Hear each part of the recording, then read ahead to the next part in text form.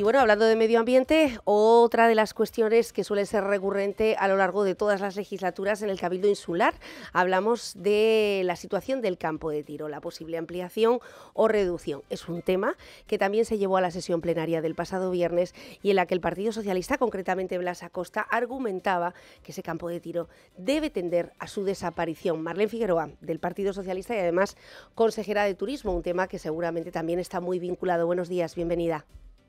Hola, buenos días, Nuria. Gracias por estar al otro lado. Bueno, ¿qué se decidió en, este, en esta sesión plenaria, Marlene? Bueno, en principio, por parte del Partido Socialista, lo que se ha reivindicado durante los últimos años en las distintas etapas donde se ha traído o se ha planteado en las distintas administraciones el planteamiento del Partido Socialista frente al campo de tiro y siempre ha sido revertirlo a la ciudadanía. En este caso, además, en este caso En este caso, además, ha habido había un planteamiento eh, por parte del Ministerio respecto a la ampliación de cielo y mar, o aire y mar, que se computaba en territorio. Y se hacía, se eh, proponía en ese informe técnico una ampliación en territorio. Por lo tanto, lo que hemos hecho en el grupo de gobierno, el Partido Socialista, junto con Coalición Canaria, es presentar una moción, indudablemente que la trasladaremos y además haremos las gestiones pertinentes eh, para que esto no se produzca, porque fue un requerimiento que se hace de forma obligatoria en la redacción del Plan General de Pájara. Y el Ministerio, mm, a través de su ámbito técnico, se posiciona y propone esta cuestión. No obstante, digo, la moción ha sido una moción debatida en el grupo de gobierno, en el acuerdo de gobernabilidad para la isla de Fuerteventura y los distintos ayuntamientos de la isla excepto Betancuria, donde planteábamos eh, la necesidad de, de forma unánime eh, y con sentido común respecto a esta situación, pues eh, plantear esta moción donde eh, trasladamos una con rotunda contundencia la negativa a la ampliación indudablemente en, en territorio de el campo de tiro de pájara y volvemos a reiterar la necesidad del retorno para uso a la ciudadanía, la descontaminación, es decir, la moción va mucho más allá, me imagino que usted ha tenido acceso a ella. Bueno, en este caso, una moción institucional no es la primera vez, Marlene, que se está mostrando por parte del Cabildo Insular el rechazo a la ampliación del campo de tiro de pájara, que se evite exactamente cualquier instrumento de ordenación y que se pida, y no es la primera vez, insisto, su desmantelamiento. Sí, sí. ¿Qué opina el Estado sobre esto? En principio, nosotros lo que es decir, en todo este proceso iniciamos, ya hemos iniciado algún contacto y eh, la opinión del Estado, me refiero que se refiere usted al ministro, porque sí, en principio es decir, un informe usted... técnico Exacto. lo que ha llegado, estamos, y es, ha sido una moción no institucional, fue una moción presentada por el Partido Socialista y Coalición Canaria y apoyada por el resto de los grupos políticos. Con lo cual, ahora iniciaremos este traslado de esta moción a las distintas administraciones indudablemente ya estamos trabajando en contacto con el Ministerio para poner sobre la mesa este debate que al final eh, también es importante porque como usted bien decía, esto ha sido un proceso de reivindicación permanente uh -huh. y creo que cuando hay un debate de estas características hay que sentarse, hay que hablar, hay que conciliar a través del diálogo y por supuesto dejando clara la petición de la ciudadanía de Fuerteventura y la propuesta de los grupos políticos que en este caso representan eh, la mayoría en el Cabildo Insular, junto con los grupos de la oposición que también han apoyado esta moción. Por tanto, ahora nos queda este camino por recorrer, pero indudablemente no ha habido ningún cambio de postura respecto a lo que en este caso el Partido Socialista ha planteado en sus distintas instituciones durante muchísimos años, como usted bien dice, es decir, esto no es nuevo y creo que ya había un posicionamiento claro al respecto.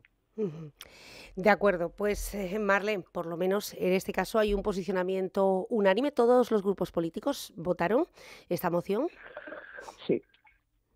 De acuerdo. Yo, sí, sí, sí, yo creo que al final, porque todos vamos en la misma línea, uh -huh. es decir, no creo que es una moción, vuelvo y repito, de reivindicación, de posicionamiento, de firmeza en ese posicionamiento y de reiteración por los grupos del gobierno, por Coalición Canaria por el Partido Socialista, y ya luego se contó con el apoyo del resto de los grupos.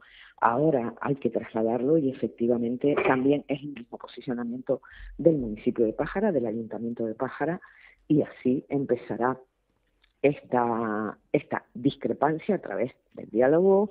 Técnicamente hay una opinión y ahora tendremos que trabajar en la parte de eh, defensa política, que es lo que nos corresponde a los cargos públicos. De acuerdo, Marlene. Además, eh, Marlene Figueroa, que en este caso nos está atendiendo como representante del Partido Socialista y, como decíamos, un área como el turismo que está muy, muy vinculada a la imagen de ese campo de tiro, eh, que siempre se ha mostrado, bueno, pues como una isla segura, una isla pacífica y una isla que en algunos momentos, debido a esas maniobras que necesariamente tienen que realizar eh, los militares, bueno, pues en algunos momentos este uso militar de esas más de 4.200 hectáreas se ha podido poner en entredicho en cuanto a la imagen turística. No me quiero despedir sin desearle buena suerte en la feria de Londres, que está casi, casi a punto de comenzar. Sí, efectivamente, ya tenemos previsto, bueno, el lunes próximo, con lo cual efectivamente iremos con la mayor eh, unanimidad entre ayuntamientos y cabildo.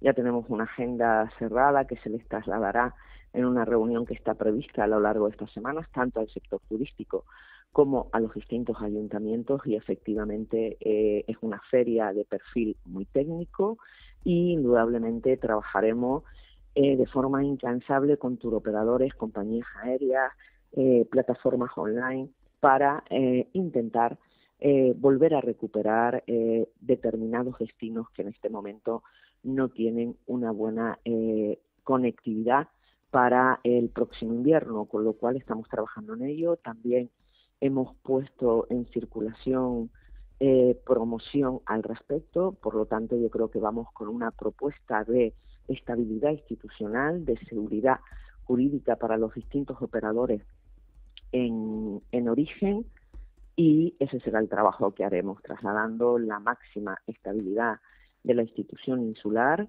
y posicionando el destino Fuerteventura donde eh, debió estar o estuvo y debe volver a recuperar ese espacio, poniendo en valor no solamente nuestro sol y playa, que es indudablemente nuestro emblema, sino también, como usted refería, la seguridad. Fuerteventura es una isla segura, Canarias es segura y Fuerteventura no tiene ningún tipo de riesgo en esta eh, lucha o guerra eh, que actualmente lamentablemente afectan al mundo creo que tenemos posibilidades y indudablemente vamos a trabajar, como decía, incansablemente, tanto yo como consejera, como la presidenta que también me acompaña en, este, en esta World Travel para trasladar indudablemente esa seguridad del destino en Fuerteventura. De acuerdo. Marlene, pues mucho ánimo, mucha suerte, porque la suerte de ustedes va a ser la suerte de todos los majoreros. Muchas gracias por atendernos. Un saludo. Gracias a ustedes. Feliz jornada.